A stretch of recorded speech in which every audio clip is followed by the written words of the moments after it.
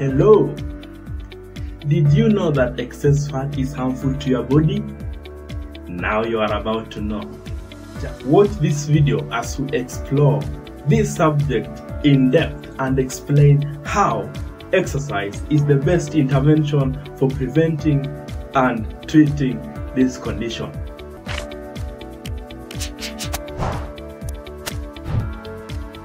Excess fats are achieved by the accumulation of fats in the body in quantities more than the recommended body fat percentage. This is 25% or more for men and 32% or more for women. Now, the primary cause of excess fat accumulation in the body is excess energy intake in the form of food and reduced energy expenditure. When the excess intake is sustained for a long period of time with reduced energy expenditure, it results to obesity.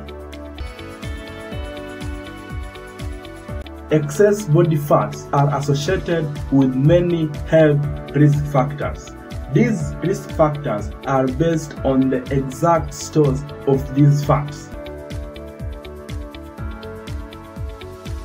Energy stores includes subcutaneous stores that are under the skin, visceral stores that are in the abdominal region, and cholesterol beneath the blood vessels. Body fat location counts. The fat lying deep within the abdomen and blood vessels is more dangerous than the fat under the skin, also known as subcutaneous fat. So, what are the dangers of visceral fat? This fat is located in the belly region. It may look so cute on you, but very fatal. The fat has the following effects. It causes osteoarthritis.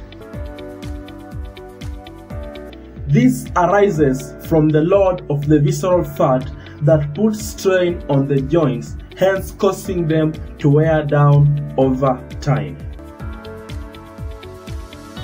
The fat deposits may also displace part of some body organs in the abdominal cavity, hence limiting their functionality.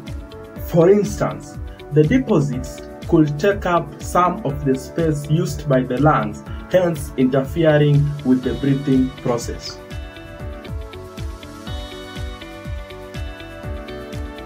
It is also associated with the release of proteins and hormones that cause inflammation which can enter the liver, hence negatively affecting the process of breakdown of sugar and fats.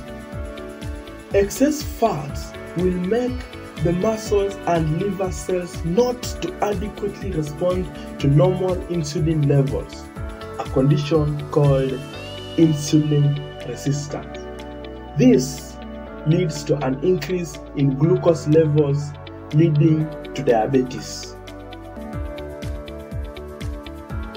How about the dangers of cholesterol beneath the blood vessels? The cholesterol accumulates on the walls of blood vessels. This is called atherosclerosis. These deposits grow and begin to affect the blood flow, leading to high blood pressure and can also damage arteries and the heart, causing cardiovascular diseases.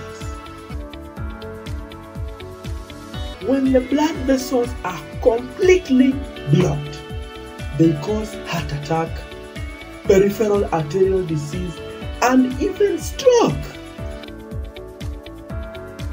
According to research done, high fat levels can also cause cancers such as breast cancer, colorectal cancer, lung cancer, liver cancer, kidney cancer, and bladder cancers. As you can see, excess fat in the body is absolutely not good for your health. It's not a good thing. Therefore, how do we prevent or get rid of these excess fats? Watch out for the next video. Please subscribe and turn on the notification bell so that you don't miss it. Please subscribe.